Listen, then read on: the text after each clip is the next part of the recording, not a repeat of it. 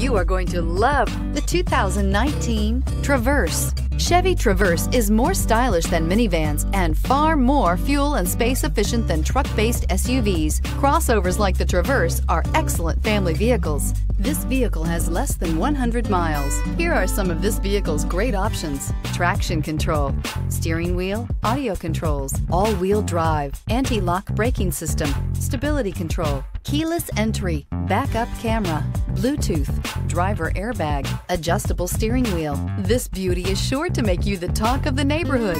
So call or drop in for a test drive today.